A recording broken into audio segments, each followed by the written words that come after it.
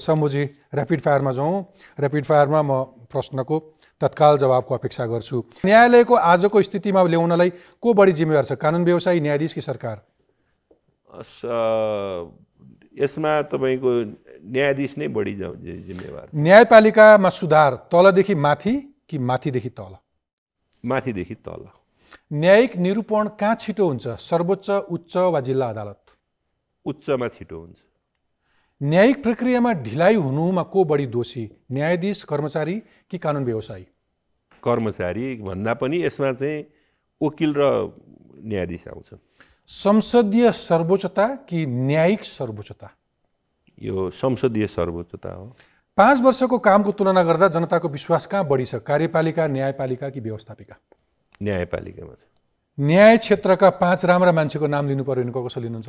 धरेन्द्र बहादुर सिंह विश्वनाथजी किसिनजङ रायमाझी केदारनाथ तपाईँको चाहिँ उपाध्याय होइन लगायतको किसिनजङ के अरे मिनवार रायमाझी लगायत धेरै मानिसहरू हुनुहुन्छ ओके राजनीतिवाद कि विचार राजनीतिक बादै बन्नुपर्छ पहिला तपाईँलाई कुनै दिन राजनीतिमा आउनु मन छ म चाहिँ त्यति योग्य मान्छे होइन राजनीतिको लागि अवकाश कसरी लिने मन छ अहिले त्यति सोचेको छुइनँ ओके एक शब्दमा केही मान्छेहरूलाई तपाईँले मूल्याङ्कन गर्दाखेरि टिप्पणी कसरी गर्नुहुन्छ? एक शब्दमा हरिकृष्ण कार्की।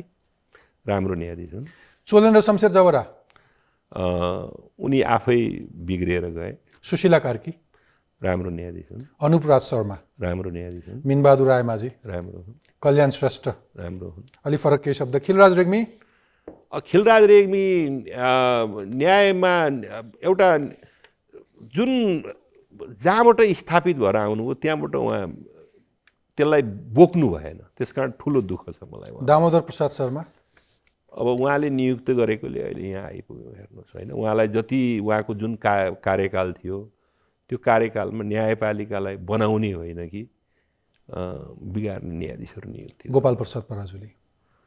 उहाँसँग मेरो ठुलो विवाद हो होइन। ठुलो विवाद हो। उहाँलाई म राम्रो न्यायाधीशको रूपमा राख्दिनँ। रामकुमार प्रसाद शाह? अब सबैलाई रामकुमार प्रसाद शाह एभरेज अब ठिकै हुन् होइन? अब सबैलाई तपाईँले के भन्नु अब फरक केही राजनीतिज्ञहरू। शेरबहादुर देउबा।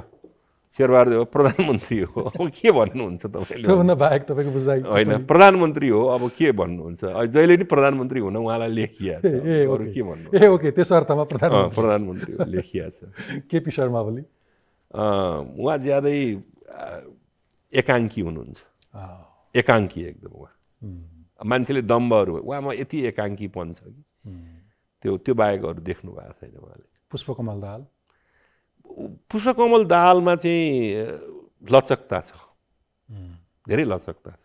नरहरी आचार्य। नरहरी आचार्यमा जुन